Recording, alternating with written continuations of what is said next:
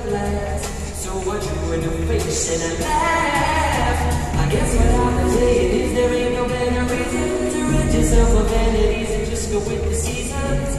It's what we aim to do. Our name is our virtue.